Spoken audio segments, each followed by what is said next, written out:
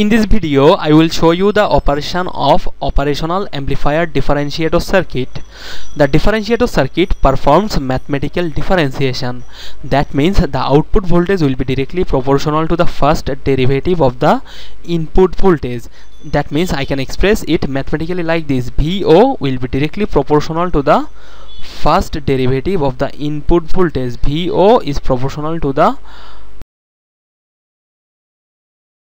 dvi of dt ddt of vi okay. Now from the circuit if i can show a relationship like this i can say that the, this circuit is a differentiator circuit.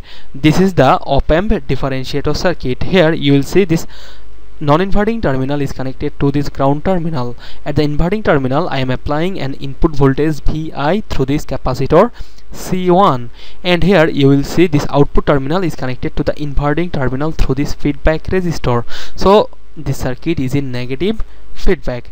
Now I will show you the derivation of VO which will be directly proportional to the first derivative of the input voltage now let me show you the derivation of this circuit how the output is directly proportional to the input See here, this output terminal is connected to the inverting terminal through a feedback resistor.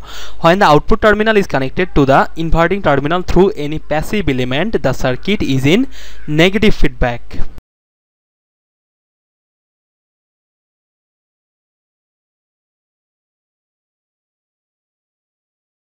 And due to negative feedback the inverting terminal voltage and non-inverting terminal voltages will be equal.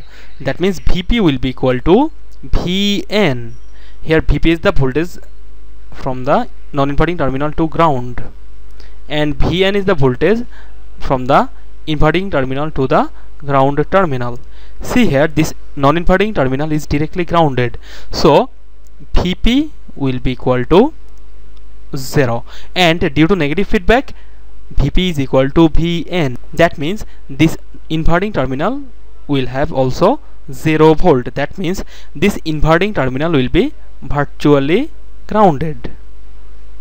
It will be a virtually grounded terminal which has a voltage of 0 volt. Now let's say the current that is supplied by the source is I1 there will be no current flow inside the capacitor. Rather the current will flow at the outer region of the capacitor. When the circuit is in negative feedback the current at the inverting terminal and the non-inverting terminal will be zero. Let's say the current that is flowing through the feedback resistor is I2 now if I apply KCL at this terminal I will get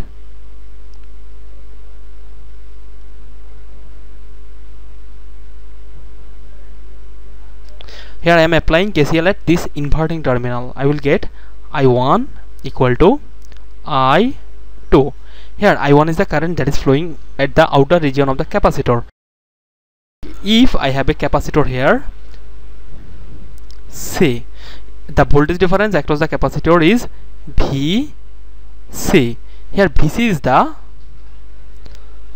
voltage difference. That means higher voltage minus lower voltage. Let's say if this terminal is at higher voltage this terminal is at higher voltage and this terminal is at lower voltage current will flow at the outer region from this direction towards this direction. So the current I will be equal to C dVc by dt from which I can write C d V higher voltage minus lower voltage into dt see here i1 is the current that is flowing from this terminal towards this inverting terminal. And this terminal has a voltage of vi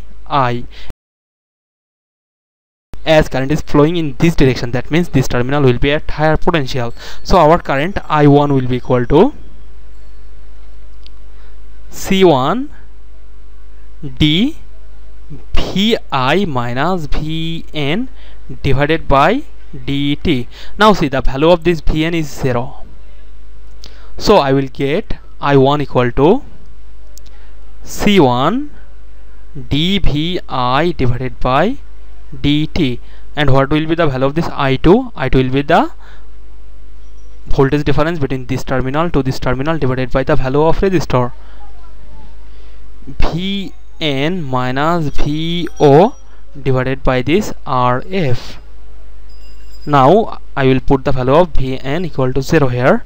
I will get C1 d d Vi divided by dt equal to minus Vo by R F. Here this minus sign is due to the application of the input voltage at the inverting terminal. So I can write our output voltage Vo will be equal to minus RF C1 d Vi or ddt of Vi see in a circuit the value of this RF and the value of this capacitor are constant. Therefore I can write VO is directly proportional to the first derivative of the input voltage. Okay that's it. Thank you